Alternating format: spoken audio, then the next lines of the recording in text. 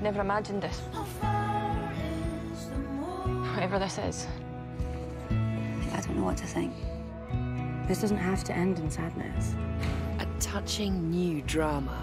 Float. Watch on iPlayer. From food to housing, from leisure to climate change, from the development of our cities to the state of our health, land is at the very heart of the way we live our lives. And the people who control it have the power to make decisions that can affect us all. Join us as together we explore our planet now, including the two part special Who Owns Scotland? Starts Sunday at 9 on the BBC Scotland channel and iPlayer. Stephen Jardine is in Aviemore bringing you discussion on all today's biggest topics. Debate night at half ten here on BBC Scotland. It's Wednesday evening. This is BBC Scotland, and here with all the latest headlines is Rebecca.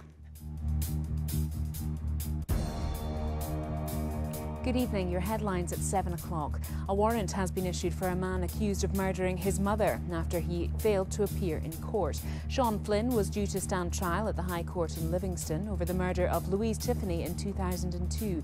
He denies all charges. Dozens of people will spend a third night away from home following an explosion at a property in Ayr. Four houses in Gorse Park are likely to be demolished, while 35 others are damaged or strewn with debris. Morocco is halting direct flights to and from the United Kingdom from midnight. It's due to rising coronavirus cases across the UK. And Steve Bruce has left his post as Newcastle manager. A Saudi based consortium took over the club 13 days ago. I'm back with Martin at 9 o'clock, and at half past 10 on the channel, Stephen Jardine is back with political argument on debate night.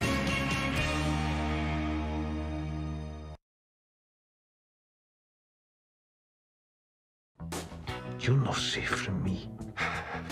We need someone who looks like an outsider. Who looks clean and who is neither. We don't want to know. If we don't know, if we don't lie to him, maybe we get out of this.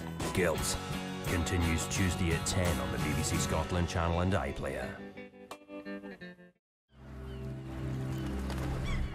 In an hour, Bob Shepton bids an emotional farewell to adventure so he can take care of his wife.